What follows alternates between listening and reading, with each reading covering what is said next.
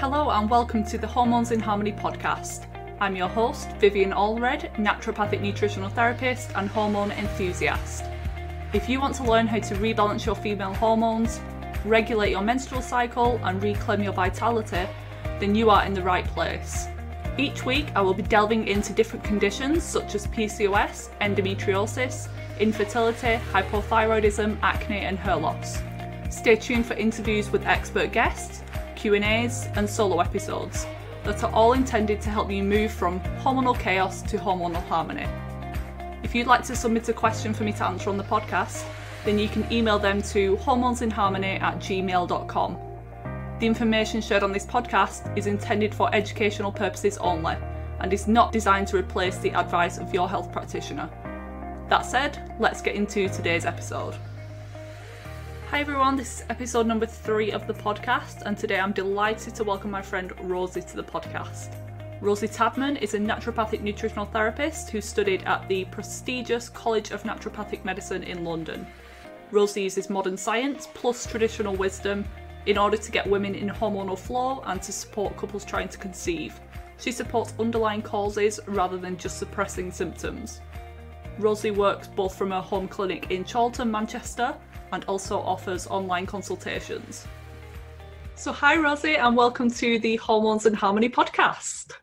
Hello, thank you for having me. You're welcome. Yeah, I'm really looking forward to our interview today. We're going to take like a deep dive into fertility and just cover all the basics because I know that this is a real big passion of yours. So, I want to first start off with you just going into who you are, what you do, and how you got into this area of fertility. So I am Rosie, and I suppose my history is so I used to be work within corporate human resources. So I originally did a business degree and then went on a human resources graduate scheme. And when people kind of ask me like, "Do you love your job?" I was like, mm, "I don't, I don't, I'm indifferent about it." But the thought of kind of being in that career forever was like horrible. I was like, oh my god, it's fine for now, but there's only so many people you can sack, so many redundancies you can make, and then you get to a point when you're like, I don't want to do this anymore. And I remember seeing um, an advert on Facebook from Patrick Holford about because uh, I was living in London at the time, and it was about uh, learning about food as medicine. And I was like, oh, this is interesting. And I was because I'd never really thought of food as medicine. For me, it was kind of always a if you're at a healthy weight and you're managing your weight, you kind of must be pretty healthy. Like literally, that is how basic yeah. it was. I think that's common for most people, to be honest. Yeah, which yeah. now is like mental. yeah, I used to think like that, and that other people do. But like that was me. Like that's yeah. how I thought about things. Same. And I was a healthy weight, and I kind of but I was I was interested, so I went along and I saw. I actually took my dad along with me because he was down in London at that weekend. Um, and I remember saying to my dad after the talk from Patrick Holford, I was like, I'm going to retrain and I'm going to be a nutritional therapist. And literally two weeks later, I handed in my notice, which was quite a big shock, I think, to my manager because I was on this graduate scheme that was kind of, I suppose, setting you up to be this human resources leader and um, was kind of seen as an amazing opportunity to have, which it would have been if that's kind of the area that I wanted to go into. And then, uh, yeah, started to work. I still stayed within HR for the first two years of my studies, but I got a job working in a charity and I went part time, which just wouldn't have been viable working in um, in the corporate job that I was in. And it really helped me. So I suppose, kind of from a personal perspective, is I lived in Ghana for a summer during university, and when I came back, I had IBS and went to the doctors. Kind of couldn't really figure out what it was. I started to have really bad skin that I'd never had in my teens. Like you know, I'd escaped teen years with no acne, and all of a sudden I had bloody acne and I was like, what the hell? Where's this IBS and acne come from? They couldn't really figure it out. And it was only when I started to study and kind of look at my own health from that holistic perspective that I realised A, I had parasites, delightful parasites. I've had them as well. Oh, have you? we have that in common. Club. Yes. Club. I had two.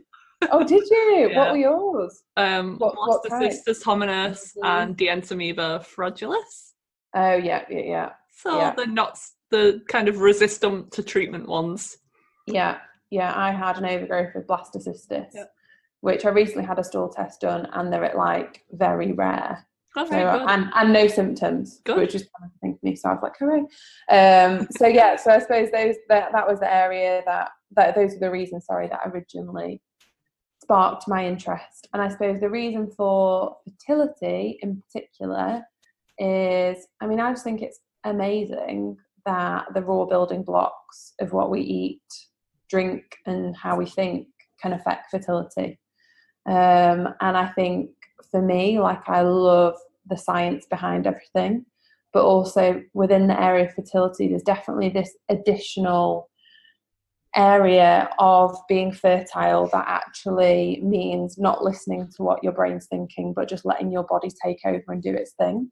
Which, for me, being someone that is kind of very driven, mm-hmm. it almost teaches me an important lesson and yeah. reminds me constantly that, in actual fact, to be that fertile, abundant individual, whether it's for trying for a baby or not, is really important. Yeah, and I just love it. I think it's amazing. Good. When I get those little scans in, I'm like, oh. Oh, yeah, it's just the best feeling ever. And yeah, yeah, I definitely agree that when we're telling clients about different things like stress management techniques, it constantly reminds you to practice what you preach. I think we met at the gestational journey. Mm, that was the mm, first time, yeah. isn't it? Yeah. When we were um, fangirling yes. Yeah. We were like, oh my god, it's Harry James. the Beyonce of the nutrition world. Yeah. yeah. Yeah. Yeah. So um yeah, I think we had some mutual friends and I think we just kind of clicked. We've got similar things interests and turns out we live like pretty close to each other as well. The first question I want to ask you is you were mentioning about fertility and pregnancy and how you help people through maybe the IVF or natural route that they go down. But for the young women who are not looking for that at the moment, they're not wanting to get pregnant, why should they care about the hormones and fertility? Why is it important to still want to be fertile when we're in, say, our 20s and 30s and not looking for a child just yet? First of all, I'd say I have seen a massive shift in people in their 20s and 30s who don't want a baby now necessarily, but do want to balance their hormones, which I think is amazing that that mindset is out there and not even within the little bubble that we work within. It is spreading, it's got a far bigger reach now. But why should people care? So I'd say, first of all, so first of all, I'd say people don't care, that's fine. So I've got friends or I've had people that have called me when maybe, you know, they're saying that they're training for a marathon or they want to do a triathlon and kind of help them. And I'm like, hell no. Like that's like the opposite like to get a good time in a marathon is basically the opposite of how I work. Yes, yeah, like, goes out the window. Sleep goes out the window, yeah. your cortisol goes out the window. Mm-hmm. Like fitness and health are two different things. Yeah.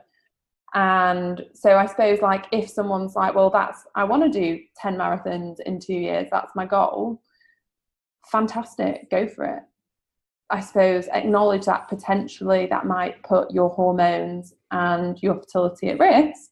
But hey, you know, some people want to live in the fast lane and some people want to go out and on a Saturday night and a Friday night and take loads of drugs and hey, like, who am I to judge? Do whatever mm-hmm. makes you happy. However, if you do want to manage your hormones now for your later fertility, I would, I suppose I've seen so many instances of ladies where when they have then wanted to try for a baby, and potentially they've been on the pill for years that it's only at that point they've realized they've got something more deep rooted going on in their body. Whether that's polycystic ovaries whether it's endometriosis whether in actual fact they've got no periods maybe they've got hypothalamic amenorrhea like there's so many different things that could go on.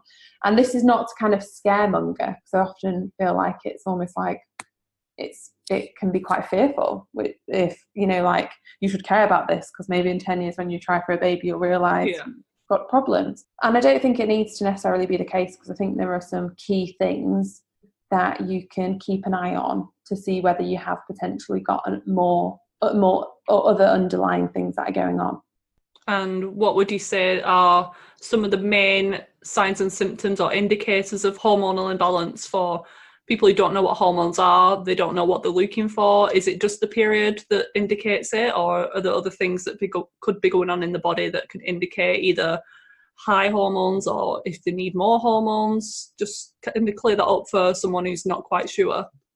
So I'd agree with you that the the biggest indicator of hormonal health is a period. That's the biggest, I suppose, like outward indicator of hormonal health is your period. And if you're on the pill, that's as we know, but not everyone does. You know, if you're on the pill, that bleed in between isn't a period, it's just a synthetic bleed. So that's not a good indicator. But if you're not on the pill or you're not on um, any sort of hormonal birth control, then your period is a brilliant indicator. Period shouldn't be painful as we know. But again, that's something that, uh, you know, wind back seven years, I thought a painful period was normal. Yeah. And I think a lot of women still do. And just because um, it's common doesn't mean it's normal and exactly kind of drilled into society that we that's what a period is. We we should all yeah. suffer that it's like a curse. So mm. definitely it is changing. People are coming to understand that that's not the case, but it is taking time and this is one of the reasons I want to do the podcast just to mm. educate women and just let them know I'm not against birth control in any way, but I'm just want people to know what they're getting themselves into and the possible side effects, not just the stroke and blood clots that the mm. doctor might mention, but the other things, the hair loss, the loss of libido, the fatigue and nutrient yeah. deficiencies. I think they commonly happen, but people don't know why and they don't associate it with the pill that they're taking.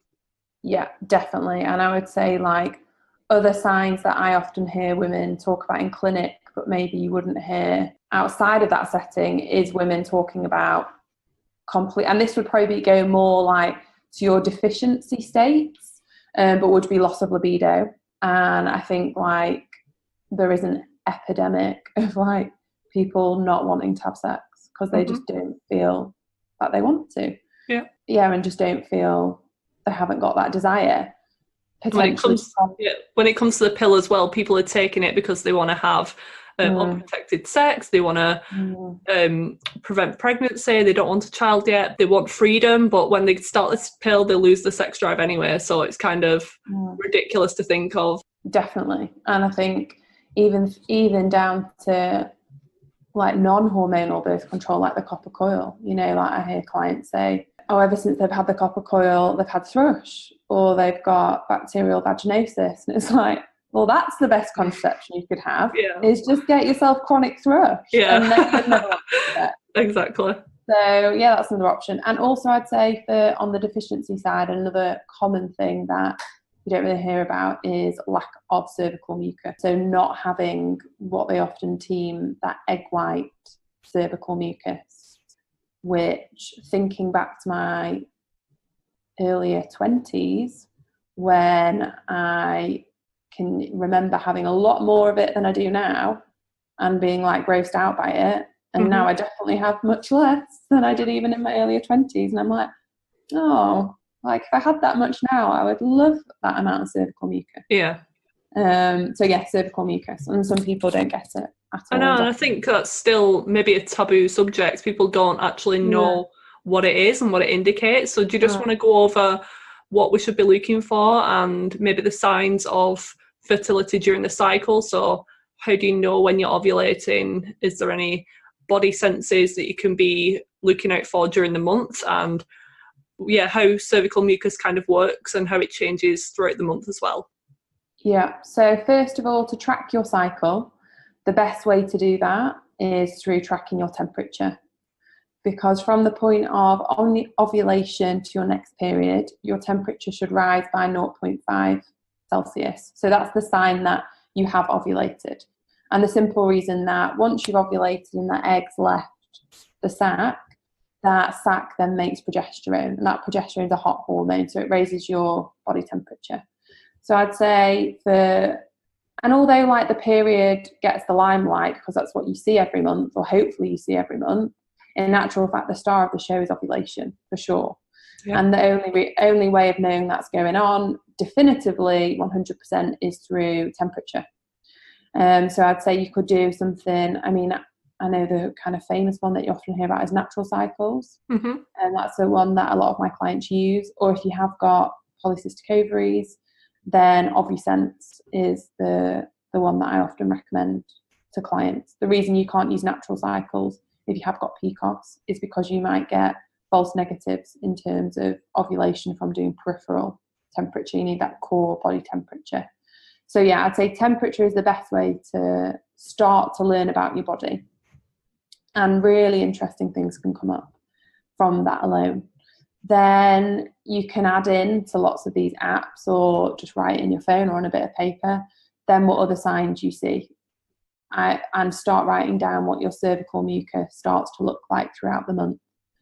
But essentially, just before ovulation, you should ideally get mucus that looks like egg white, quite literally like egg white. Not everyone gets that, and it doesn't mean that you haven't ovulated. Some women will get just wetness, or even just when you wipe yourself, you will get almost like a bit of a shinier mucus on mm-hmm. there. So it won't be sticky. Yeah. It will look more shiny. Um, so that's what I'd say to look out for. But just track those things because if you have got things like low estrogen, as that improves, a great bodily sign is the amount of cervical mucus that you make will also increase. Definitely. And yeah, me personally, yeah, I track using the Daysy fertility monitor. I think that's another really good mm. option. Uh, but after speaking, so that's the to, one that you put in your yeah, your map. Yeah, and it comes yeah. with its own monitor. Yeah, so it does. It's like a computer basically, and it's used in I think it's somewhere like Germany as mm. you can use it as um, like contraceptives. It's commonly used mm-hmm. over there. So yeah, and you can plug it into your well. phone. Yeah, um, but after speaking to um, I think Angela, she mm. posted about the Ovusense, and mm. I was kind of talking to her about that, and I feel like that would be more suitable for me because of I've got PCOS. So yeah, yeah. Um, looking back, I probably would have tried that, but the Daysy's working well for me, and I'm enjoying using that. But yeah, she explained that it's m- much more sensitive and effective yeah. for women with PCOS. So that's just important for anyone who's out there who's looking for maybe a fertility monitor if you've got PCOS. Um, how much is Daysy? How much uh, is the I think it was two hundred and fifty. I think. Oh, so it's more expensive than yeah, I know. oh, okay. but I heard much more research. I hadn't really heard of Ovusense before, and I'd heard a lot of people talking about the Daysy and the benefits. So I kind of just went with that, and then yeah, um, started to learn about Ovusense, and yeah, something I'll definitely look into as well. It is a good one. It is a really good one. And for fertility tracking and the cervical mucus and fertility awareness method, I would definitely recommend the book Taking Charge of Your Fertility. Have you read that one before? Mm, yeah. Yeah, that's kind of yeah. like the Bible of fertility the awareness. One. Yes. it is a chunky number. Yes, that one. yeah, it takes a while oh, to get through. yeah, I'll read that when I've got a year off. So. yeah, I've got it, nice, and I do. It's a good one. There's some nice diagrams in there as well. Mm, yeah. yeah. so um, that's a really good option for people to maybe do some more research into and learn a lot more about the fertility awareness method. Yeah. So when it comes to fertility, do you believe that infertility rates are on the rise, or do you think that we're just talking more about it and maybe being able to find out more about it in recent years? So, what are your thoughts? I think unquestionably, if we use sperm parameters to see whether or not fertility is improving or not, then it is definitively decreasing. Because we can we know that sperm is on the decrease and that's from the amount as well as the motility and also the morphology or the shape as well. You know it is drastically reduced over the past 20 to 30 years and i always say like sperm is like the canary in the coal mine like they're the first thing that are going to be affected in a man because they're so small and they're so sensitive that as soon as they become affected, it's not far behind, everything else will become affected. So I think it is definitely, it is almost like and again, this isn't like scaremongering, but it is scary. it is like the start of the real handmaiden's tale. It's like, oh my god, this is coming to life. Like, and we only need to look at sperm levels to see like how, yeah. Yeah. And what do you think are the, the major factors and contributing drivers to this decrease rates of fertility in both men and women? Is it just food? Is it the food that we're eating? Is it our environment? I'd say 100% multifactorial, down to simple, not necessarily easy things to change, but stress is definitely in there. I think the lack of soil quality therefore means that even if you are getting your five or your seven vegetables a day, in actual fact, the nutrient density of those vegetables are arguably much lower anyway, just because we get all of the minerals from our vegetables and fruits through the soil. And we know we're over farming. Um, we're not necessarily doing crop rotation as we would have done 50, 60 years ago. I think also the rise in plastics. And I think 2018 has definitely been the year of like plastic awareness. um, predominantly, I think, from an environmental perspective, which is amazing. And I think the, it's almost it's 2019 will hopefully be the continuing awareness of that, but also the impact of that on our health as well. So I think plastics is huge. Um, and also, I think even down to things like, I suppose the things that are outside of my scope but are still worth mentioning are things like people just not seeing the daylight. And we know like daylight sets our hormonal rhythm, and that circadian rhythm is so integral.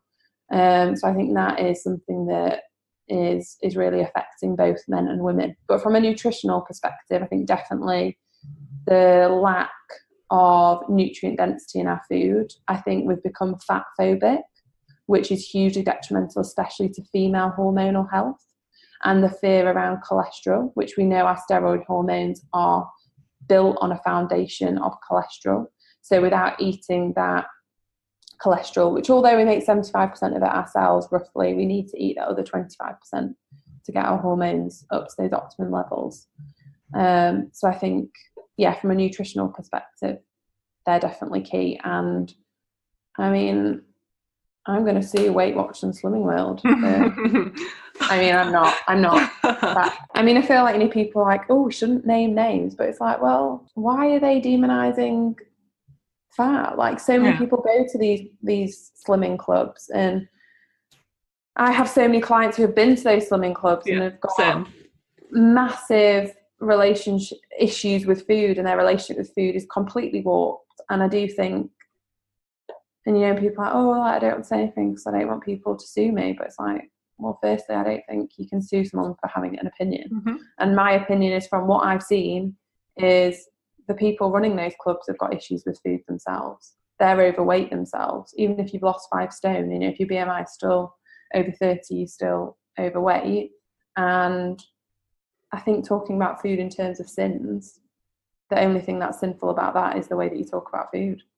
Yeah, totally agree with that. And yeah, there's people, some of my clients or people I used to work with who were all in Slimming World and they yeah. just like obsessed with it and they'd get the shopping at the end of the day and they'd have either some chocolate bars, some little snack bars, the Slimming World yeah. brand, or um, a six pack of Strongbow cider. But when I spoke to them about eating healthy fats like nuts and seeds, avocados, they, they couldn't eat that because it would just. Isn't avocado a sin? Yeah, it would send them it would be too many sins for the day, so they'd just stick with the cider or the Slimming World 100 calorie uh, snack pack. So, yeah, I definitely agree that that's not the way to go. And yeah. and even the government, I mean, they are promoting a low fat diet as well. Yeah, like still. I mean, so and it's and I mean, people come to me and they're angry because they're like, well, why is the government? They're lying to us, and I'm like, well, the government is it's a big organization to get change through something as big as that it's unfortunately going to take time i think there is a bit of saving face of oh crap like we've been saying this for so long maybe if we gradually wean it out and we introduce the mediterranean diet as a good mm-hmm. interim then no one will notice. And it's like, mm, I think people have noticed that you're trying to cover your tracks badly. Yeah, um, I think they um, even did that with cholesterol. I think a couple of years ago, um, well, decades for decades now, it's been to avoid dietary cholesterol because it clogs mm. our arteries and causes heart disease. And then I think it was Dr. Mark Hyman who actually went through the um, latest dietary reports and they actually listed that cholesterol was no longer a nutrient of concern. And mm. they didn't mm. make that a big thing. They just kind of slid it in there and just like changed the guidelines without actually reporting it because that would may- mean mm. that everything they've been telling us for the past few decades hasn't been true. And mm. again, I can feel like there's going to be more things coming out in the future um, maybe with the grain intake that they're promoting and the dairy industry that they're going to be changing them, but it's hard for them to just completely go back on what they've been telling us for all these years. Mm. Yeah, which is sad. And I mean, potentially they've got bigger fish to fry, like Brexit. Yeah. Wait, that's I another mean, episode. yeah, that is that is not what we're talking about. Yeah, yeah. We'll not go on a tangent on that one. Yeah. Um, so, are there any particular foods to increase more of or avoid completely when it comes to fertility? So, say there's someone who's been struggling with infertility or struggling with even hormone imbalances. Are there any just general foods that you would tell pretty much anyone to avoid and also increase? I would say, like, broad principles that would apply to 90% of the population would be firstly move to organic food where possible. Uh, because the amount of toxins that you can get from herbicides and pesticides, they are hormone disruptors in themselves. So if you can cut that out, fantastic. And in actual fact, you could get two of the same meal. So say if you had two of your classic Sunday roast, for instance, if one of your Sunday roasts was with organic vegetables and proper organic meat, versus shitty meat with all the hormones and vegetables that weren't organic with all the pesticides and herbicides. Okay, on paper you've got the same meal, but in actual fact, there your body receives those meals in completely different ways because one's got hugely laden with toxins and the others the other meal isn't. So I think it's more of a quality discussion. Like we need to talk about food quality and where it comes from. So that would be across the board. Of the board. The next one would be vegetables, seasonal vegetables. Great. Um, I think one of the few things nutritional therapists agree on mm-hmm. is we need to eat more vegetables, eat the rainbow. Except for the carnivore diet, that's just meat. So. mm. yeah. yeah. and even because I I do recommend keto to some clients, and I do really like the Diet Doctor website for resources. But one of the things I strongly disagree with on the Diet Doctor website is um, even vegetable restriction because of the net carbs, which I'm like, come on now, like I don't I don't buy that. I don't think the science weighs up for actually restricting your vegetables as a way to cut your carbs. I think you can the net carbs in above ground vegetables is so minimal that I've never seen it kick someone out of ketosis in any way. Mm-hmm. Um, so yeah, I think those above ground veggies are great. Try not to snap. I think is a is a really good message to get out there, and try and eat bigger meals. So I know like the world the world of fasting should be fast. Is that good? Is that bad? But let's not forget that three solid meals a day is actually a very gentle way to fast because in between those meals, your body's then going to be able to start to recognize how it needs to utilize its own fat stores for energy rather than relying on external food that's brought in. So I think that is something that I've never I never give no I lie. I occasionally give, but I always try as a best case scenario say don't snack. So I never give like healthy snack ideas because I think that's a, we need to get into bigger meals and then giving our body a rest in between. Um, whereas I see so many ladies who graze when I might say, "What do you have for lunch and dinner?" and they're like, "Oh, I just you know I pick. I might be hummus um, and hummus yeah, and carrot Yeah. yeah, I'm like, no, that's not that's not a meal. And I think as soon as you explain that in actual fact, in between when your body starts to get into that fasted state, that's actually the only time your body can utilize its own fat stores and you might even lose weight. All of a sudden, people are willing to try it. So I'd say again, that's something universal. And I do like fasting in more like condensed hours and things like that, but that would only be for someone where their cortisol and their stress levels are under control. Because if they're not, then if your body's in that fight and flight, then it can just your liver will be giving off so much glucose you won't be able to utilize your own fat stores anyway. But I think three meals a day is a good introduction for anyone to start and making sure you're having enough fat, protein, and fiber with all of those meals. And other simple things would be sit down. It's like boring things to even mention, and people like yawn when you say it, but it's so true. But just sit down and eat and that kind of mindful eating and blah blah mm-hmm. blah. Like you know, I'm I'm bored of hearing it, let alone saying it. But it is. It, I think it, there is. There's definitely something in it, and enjoy your food. I think yeah, enjoying your food is really important. And one of the questions I always ask my clients is, do you eat to live or do you live to eat? So, I mean, I there's definitely a part of me that lives to eat. Like I love food but I completely recognize, and I have clients who are like, not that bothered, really. And then that might be when I go more down the, well, can you actually have a big smoothie for breakfast or for lunch or for dinner? And it's literally will take you two minutes to have. I'm not going to say it's going to be the tastiest thing in the world, but for those more functional eaters out there, mm-hmm. they love that. Yeah. Because they're like, that's great. Whereas for me, I'd be like, what a waste of a breakfast. Yeah. so I think it's kind of working out where you sit on that spectrum. Yeah, definitely. Some people just are just eating for the fuel, and if you tell them yeah. it's providing you with this protein, this fat, this fiber, with these nutrients, then they're just like, yeah, whatever. I'll, I'll yeah. just have it, whatever it tastes like. But yeah, the other people you need to find a diet that they're going to enjoy for them to actually do it. Yeah. And just touching back on the fasting as well, I definitely agree with more of the fasting between meals rather than the long 18, 16 hour fasts overnight mm-hmm. or skipping breakfast completely because mm-hmm.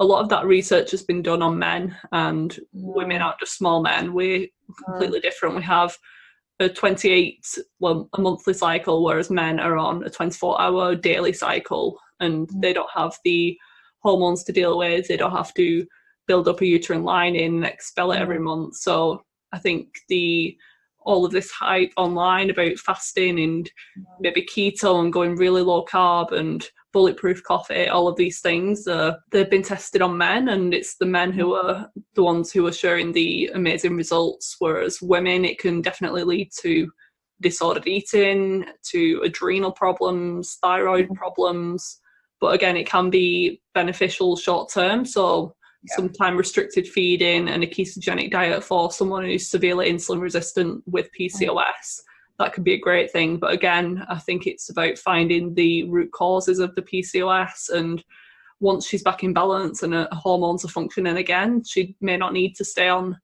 that for much more longer or she can do it cyclically and just do every couple of weeks a low carb diet but yeah, I think that's really important to take the information that you see online and especially social media. There's a lot of people promoting different diets and detoxes and yeah. cleanses and workouts where because it works for a male or for one particular mm-hmm. person, mm. you can't just take that advice and implement it on yourself because it doesn't take into account whether you've got IBS or digestive issues or mm gallbladder problems when it comes to the keto yeah. diet, that's not going to work for you. So, yeah. are there any foods that you just say to avoid completely? Say, like gluten, is that just a no no, or do you find it to be different with every woman? So, first of all, like never have it unless you're celiac, say with gluten. I suppose I, my approach, I'm not a purist.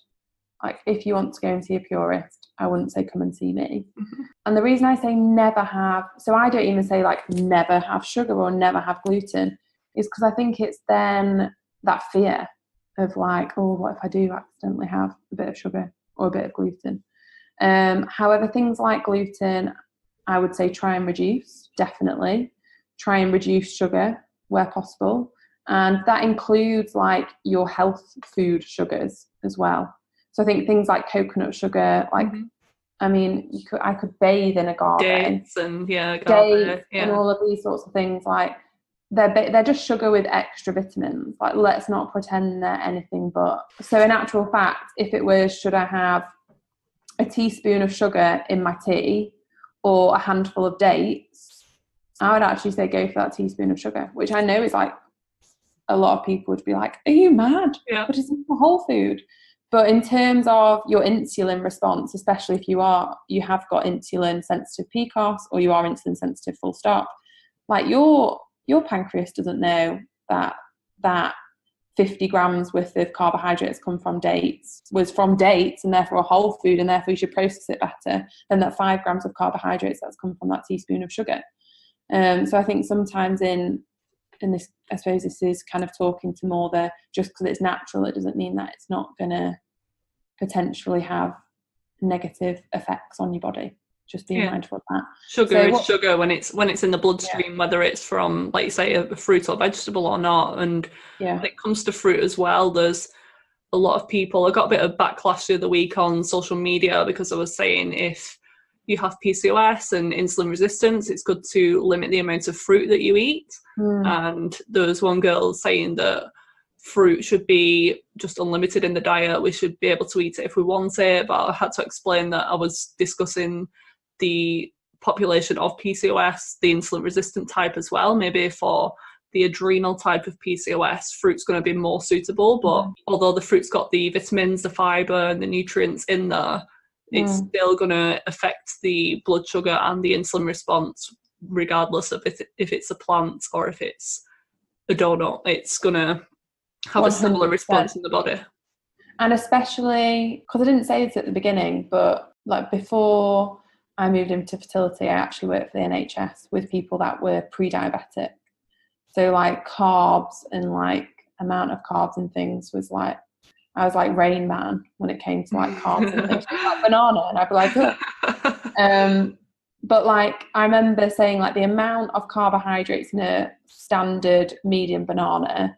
is about the equivalent of two to three slices of bread. Like your insulin response is the same. Yeah. Arguably, and I know they're doing loads of research on well, people from an African contingent, their blood glucose doesn't raise as highly as someone who's Caucasian. Yeah. Potentially, there's kind of more hereditary aspects that we also need to play into it. Like I know it's it is more complicated than that, but in the broad, carbs are carbs, and your insulin response is going to be the same. But I would agree, like a couple of a couple of pieces of fruit is great, and the vitamins and and I think Deanna at our gestational journey summit was kind of she was talking to the backlash of like never have fruit brigade. Yeah. and i think yeah like one two piece of fruit is put the the benefits of that are going to outweigh any negatives in terms of um, blood sugar balance and insulin. But any more than that then potentially you are going to tip into it's actually not that beneficial so i think then some it comes down to dosage i'd say yeah definitely she was promoting the use of the fruit therapeutically as well. So mm. the different pigments and the antioxidants for different benefits. And she was also talking about having it after your meal, not just on an empty stomach, having mm. a big load of fruit juice, having it a, a small like 250 mils of pomegranate mm. juice after your meal so that the fiber slows down the um, uptake of glucose as well. Yeah. So I think that's a big factor as well. People eating fruit alongside other things as well to kind of slow the glycemic release.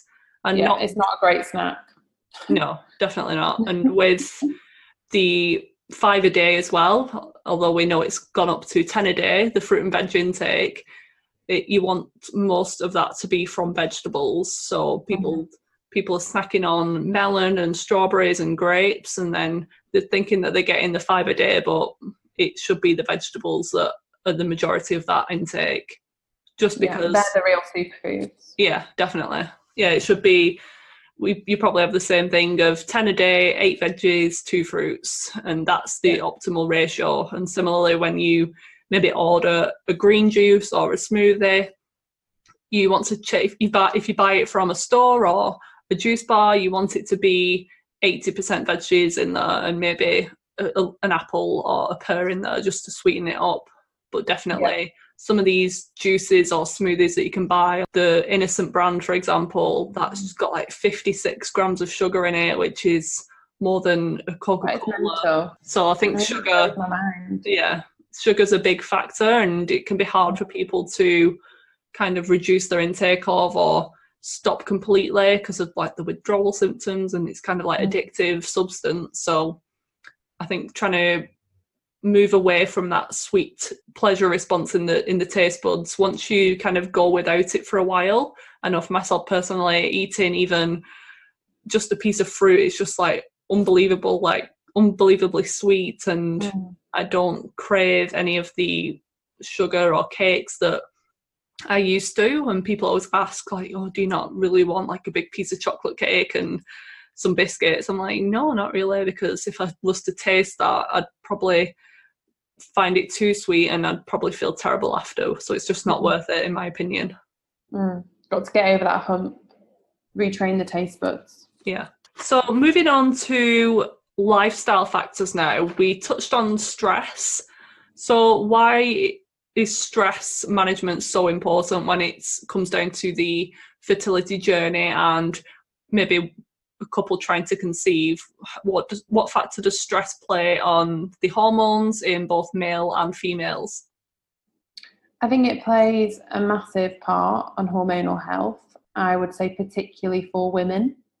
Um, I think, and this is something where I feel like the the kind of post 1950s backlash against your modern housewife and women being able to do everything men can do um, has almost buggered our hormones to a certain perspective, to a certain extent, and that women can do everything a man can do. I don't think that's true, but I think we can do things differently, and I think that's as empowering. Like why, like you said, like we're not just small men. Or if you're me and you're five foot ten, you're not. oh, same. not, I'm not small, but I'm equally still not a man. Yeah. Uh, and but how does it affect? So I think it affects women the more than men. I think in terms of fertility, uh, predominantly because the whole fertile feedback loop starts in the brain, and then the brain needs to signal to your ovaries to release that lovely egg. And if your stress levels are high, then that cortisol that's being made in your adrenals will favor that release of that egg potentially. So that brain feedback loop has suddenly flicked like a little switch from going from your ovaries to actually going to your adrenals and now that that road is being well trodden instead of the one to your ovaries so i think women are uh, much more impacted by stress than men as a massive generalization of gender. Like, obviously, there's varying degrees within that. Um, I think men can take on a lot more stress without it affecting their fertility. That's not to say it won't affect their heart or other aspects of their health, but I don't think it will see an instant effect on their sperm health. It might affect their ability to be able to get or keep an erection, which is very important for making a baby. But I don't know how much it would necessarily impact sperm health. I don't know. I don't think they've done a lot of research into it. Yeah, and I think when it comes to the female body in particular, like, like you say, it's really sensitive to stresses in the environment, and mm. this is due to like an evolutionary development as humans. So, mm. say back when we were cavemen, our body would perceive threat in the environment and would kind of switch off hormones and reproductive function to protect our body and because we don't want a baby when we're either in a famine or running from a saber-toothed yeah. tiger so definitely hormone function ovulations delayed or missed completely that month and when it comes to periods periods can vanish they can be delayed they can be longer they can be extra pms during yeah. the week before your cycle. So definitely when it comes to hormones as well, it can take three months for you to start to see the impacts of your diet and lifestyle. So if your period was really bad this month, I always recommend looking back to what was happening three months ago because that's mm. the amount of time that it takes to uh, develop and release your egg. What do you think about the preconception window? How long do we need to prepare our bodies for a pregnancy? Can we come off the pill and just start trying already, or would you recommend a longer period of time to really address some of these health issues that people might be struggling with? Well, I mean, you can come off the pill and start straight away, and people do get pregnant, um, and that is an option. And is it necessarily the best option? I don't, I don't know. Like, who am I to say? But I would, what I would say is, it takes roughly about ninety to one hundred days for our eggs and sperm to mature. So, well, for, for our eggs to mature and for sp- new sperm to be made.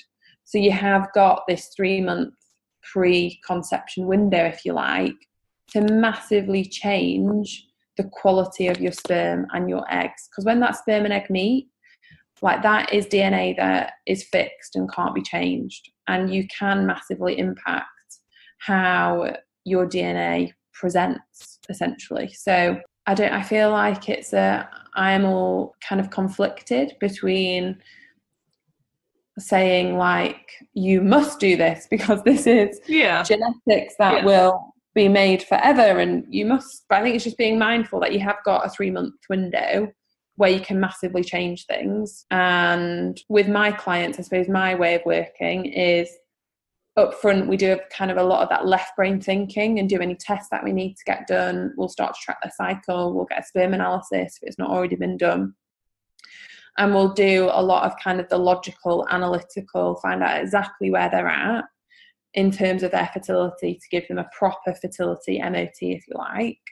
But then once we've done that left brain thinking and we've put strategies in place and they've done that three month window it's almost then you then need to i try and support my clients to then almost move away from that and not become fixated with ovulation dates and not become fixated on the exact time that I need to take my supplements.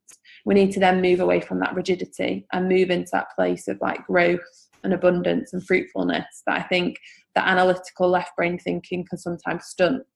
But what I don't think is useful is when people say just relax, it'll happen. And it's like, well, you don't know what's going on. Mm. Like what like what's the point in saying that before you know what might be going on? So I'd say like my approach to preconception would be a three month window prior, do the analytical bits that are really important, can can ensure that you put your best foot forward and then you've almost got to you've got to let go and you've got to surrender. With the knowledge that you've done all of that work or you've done all of that and i mean you've done all of that play because it doesn't work i think sometimes got the connotation that it's going to be not necessarily enjoyable but you're going to have done that fun stuff. And like you know getting your body into a fertile state if it's done well it shouldn't feel punitive it should actually feel like it's empowering.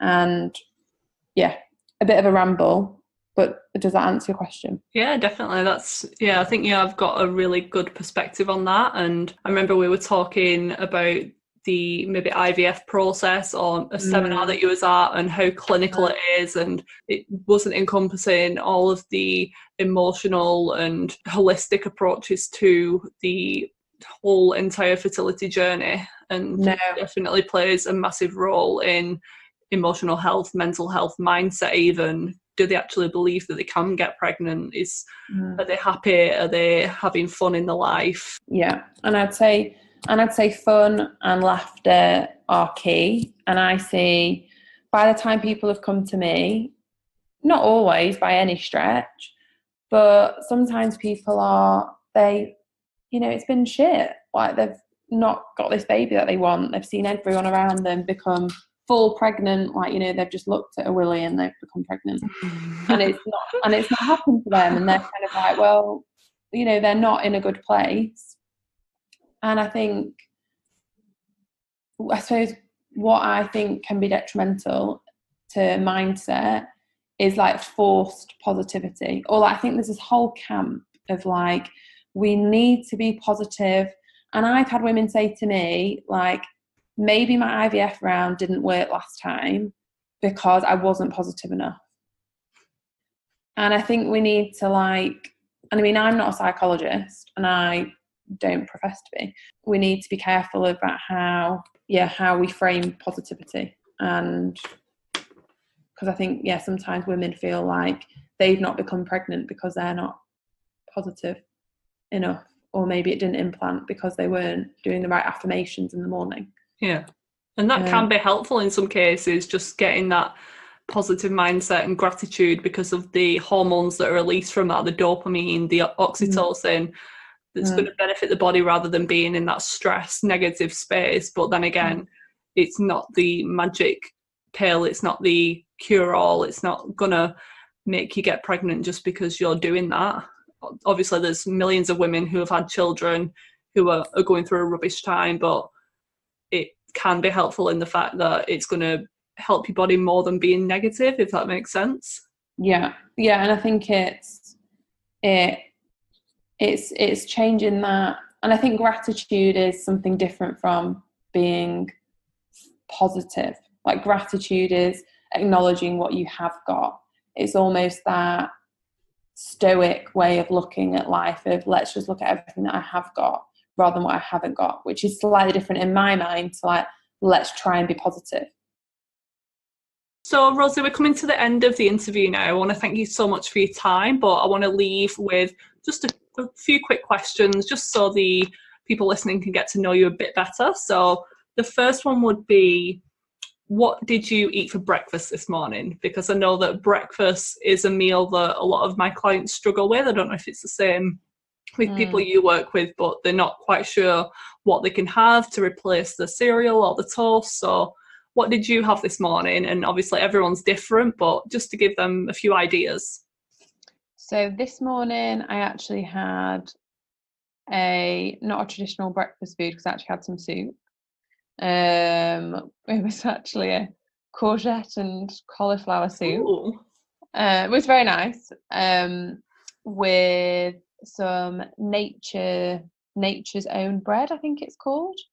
Um, I'll send you a link to put on the notes yeah. if you like. Yeah. Because it's it's essentially a a really nice naturally gluten free bread made with it's got some oats, it's got some psyllium husk, um, chia seeds and flax seeds and things like that. But it's really nice. nice. But yeah, I had soup this morning. But my usual breakfast would be eggs of some sort of variety. Yeah. So it's not the bread filled with preservatives and fillers and no um, white rice and things like that. No. no, it's a really nice one, which one of my clients found. Oh, they were right. like, Rosie, they were like, instead of making my own bread with the recipe you've sent, because that seems like effort. Yeah. How about this bread in Waitrose? And I was oh, like, lovely. I was like, oh, oh yeah, that looks great. Go with that.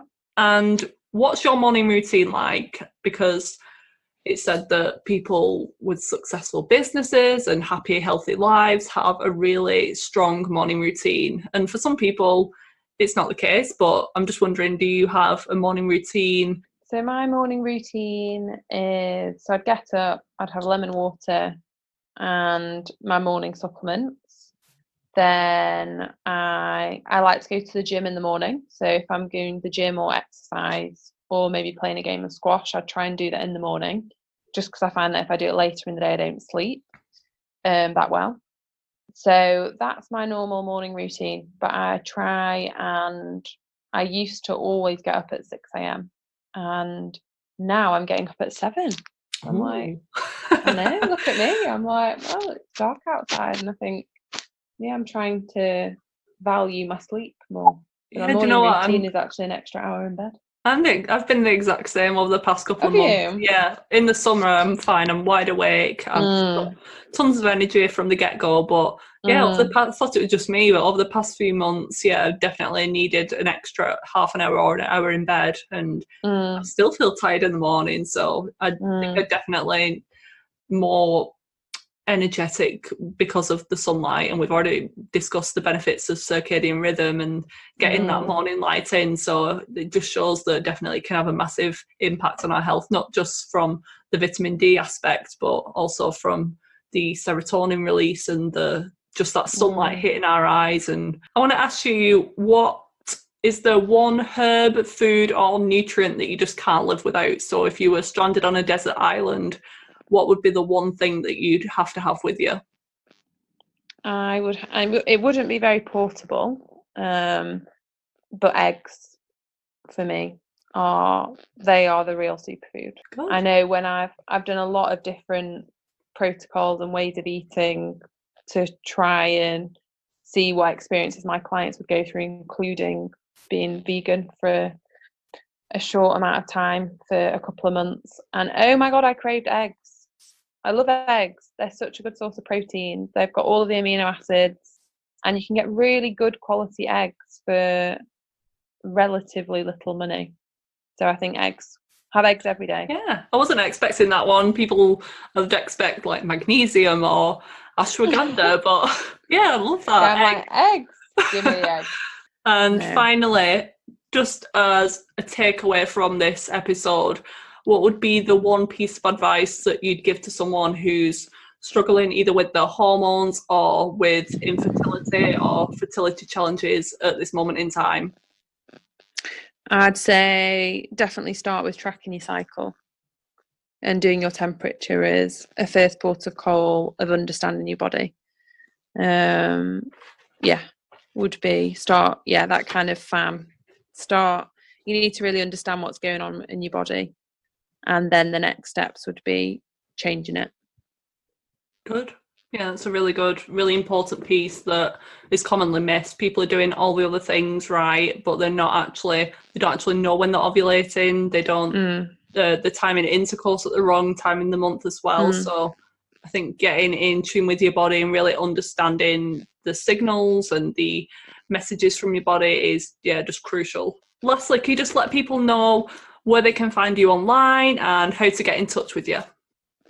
So I uh, so I'm on Instagram and Facebook, and I am under the is it a widget? What do you call it? A handle. A handle. Yes, yes handle. handle Rosie Life UK. But I'm my bloody grandma. Is, is this a widget? Is it what do you call these things? A widget, a handle?